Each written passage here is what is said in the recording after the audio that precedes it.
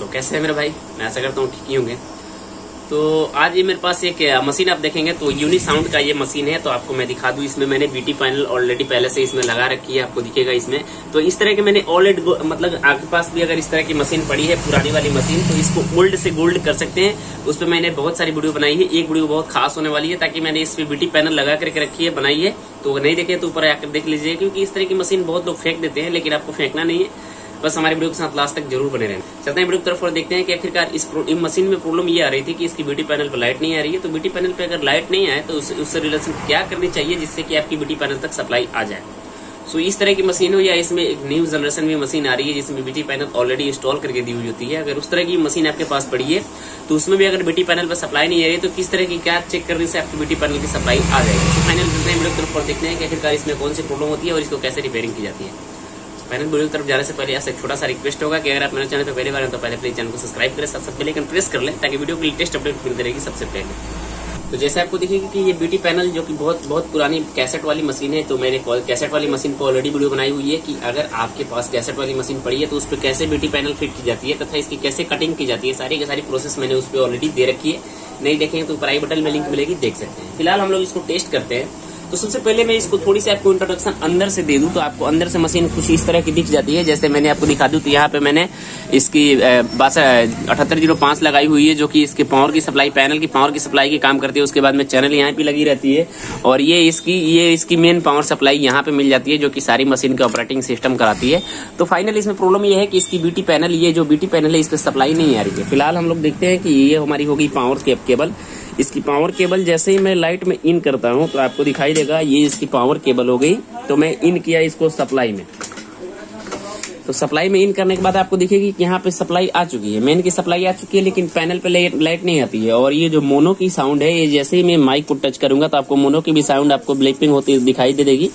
यानी कि हमारी मशीन प्रॉपरली काम कर रही है, बस बीटी की जो ये पावर होती है, इसकी पावर यहाँ से, इस इस पावर सप्लाई से निकल के यहाँ तक आती है तो ये नहीं आ रही है। सबसे पहले मैं इसकी, ये अठहत्तर ज़ीरो की टेस्टिंग कर लेता हूँ आपके सामने तो तो ये हमारी हो गई मल्टीमीटर मल्टीमीटर के एक प्रोड को मैं ग्राउंड के कहीं भी लगा सकता हूँ, क्योंकि पूरी बॉडी की बॉडी ग्राउंड रहती है। तो ये हमारी ये मोस्पेट की इनपुट है तो आपको बोल्टे यहाँ पे दिखाई दे रहा होगा कि इनपुट नहीं आ रही है। तो इस इनपुट इस, यहाँ के इनपुट को आपको डायरेक्टली यहाँ पे चेक करनी होगी, क्योंकि इसी पावर सप्लाई से, ये वाली जो पावर सप्लाई होती है, इसी से निकल के पावर यहाँ तक आई रहती है। तो इस पावर सप्लाई के लिए हम देखेंगे तो यहाँ पे हमारी डायरेक्टली इनपुट यहाँ पे है, इसकी टर्मिनल की यहाँ पे इनपुट है तो नहीं आ रही है, यहाँ भी नहीं आ रही है।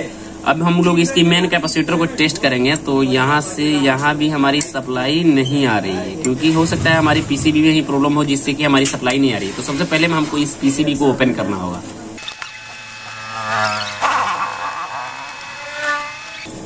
ये हमारी पावर सप्लाई ओपन हो चुकी है तो अब एक मैं बॉडी को लगा लेता हूँ और एक मैं टेस्टिंग करता हूँ कि हमारी पहले मेन कैपेसिटर से हम टेस्ट करेंगे तो मेन कैपेसिटर पे आपको वोल्ट दिखाई दे रहा होगा कि सत्रह वोल्ट बन रही है। अब हम इसकी सब, ये जो ये जो आपकी इनपुट है ना इसकी मोस्पेट मोस्पेट की सप्लाई आपकी डायरेक्टली यहाँ पे आई रहती है। यहाँ तो यहाँ भी हमारी नहीं बन रही है, उसके बगल में एक मोस्पेट लगाई रहती है तो मोस्पेट के हम बीच वाले टर्मिनल पर देखते हैं तो बीच वाले टर्मिनल पर हमारी कनेक्शन आ रही है। और यहाँ भी आ रही है। तो सबसे पहले हम इस मोस्पेट को चेक करते हैं। मोस्पेट से पहले आपको एक चीज़ और ध्यान देनी होगी। ये जो मोस्पेट लगाई रहती है, मैं आपको दिखा दूँ। ये जो मोस्पेट लगाई रहती है, यहाँ पे ये मोस्पेट इस मोस्पेट की आपको ये इसकी जो बेस होती है बेस पे आपको एक जीनर लगाया रहता है। पहले ये जीनर यहाँ पे एक जीनर लगाई होगी, आपको दिखाई दे रहा होगा। ये जो जीनर लगाई हुई है ना, पहले इस जीनर को टेस्ट की जाती है, क्योंकि ये हमारी जीनर डायरेक्टली आपको अर्थ से और डायरेक्ट पावर में कनेक्ट रहती है। तो सबसे ज़्यादा चांसेस बन, सबसे ज़्यादा चांसेस इस जीनर को खराब होने की लगती है क्योंकि ये हमारे जो मोस्पेट होती है, ये वाली मोस्पेट ये मोस्पेट हमारी बहुत रेयर केस में खराब होती है क्योंकि ये मोस्पेट का ज़्यादा ऑपरेटिंग नहीं रहता है, बस थोड़ा सा ऑपरेटिंग रहता है। तो सबसे पहले हम पावर सप्लाई को ड्रॉप करके अब मैं इसका मल्टीमीटर को कंटिन्यूटी पे सेट कर लेता हूँ। और उसके बाद में सबसे पहले मैं इस जीनर को टेस्ट सबसे पहले मोस्पेट को टेस्ट करता हूँ। तो मोस्पेट को टेस्ट करने के लिए आपको दिखाई दे रहा होगा कि हमारी यहाँ पे पावर बन रही है। यहाँ भी बन रही है यहाँ भी बन रही है। तो ये जो जीनर की पॉइंट निकल के आ रही है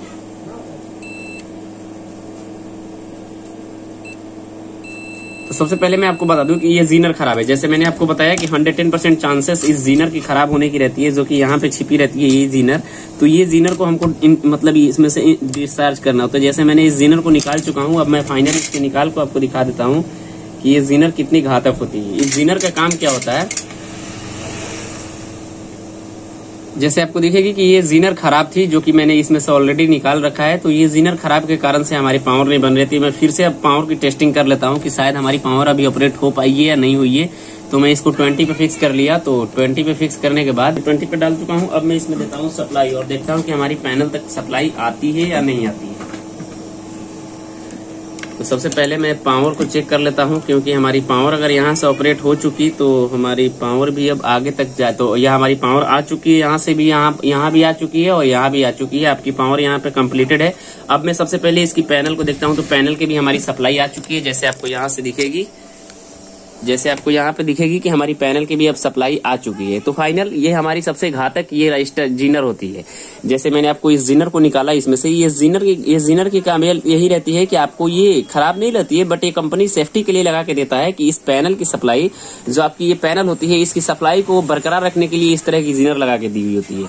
जैसे की ये आपको जीनर जहाँ पे तक दिखाई दे रहा होगा की ये जीनर हमारी खराब होने के कारण से हमारी पावर सप्लाई तक इसकी लाइट नहीं आ रही थी तो सबसे पहले आपकी मोस्पेट खराब नहीं होती है, मैं कन्फर्म कंफर्म कर दूँ। और मोस्पेट के बाद सबसे पहले पैनल भी खराब नहीं होती है मोस्पेट भी नहीं खराब होती है। क्योंकि ये जो जीनर आपकी सेफ्टी प्रोटेक्शन के लिए दी होती है और से डायरेक्ट पावर तक ये जीनर दी होती है कि आपकी अगर पावर सर के सेक्शन में कोई भी खराबी होती है, आगे वायर इधर से उधर फॉल्ट करता है वायर का तार इधर से उधर कटता है तो ये जीनर ऑटोमेटिक जल जाएगी। तो फाइनल मैं आशा करता हूँ कि आपको सारी की सारी जानकारी अच्छे से समझ में आ चुकी होगी, क्योंकि अगर आपके पैनल तक लाइट नहीं पहुँच रही है तो सबसे पहले आपको इस विधि से अपने पैनल को टेस्ट करना होगा। साथ साथ इस जीनर की सबसे ज़्यादा खराबी चांसेस इसी जीनर की होती है। तो मैं ऐसा करता हूँ कि सारी की सारी जानकारी आपको अच्छे से समझ में आ चुकी है। अगर समझ में आ चुकी तो प्लीज़ वीडियो को लाइक चैनल को सब्सक्राइब करते हुए जाइएगा। तब तक हमको दीजिए इजाज़त, मिलते हैं नए वीडियो में। Bye bye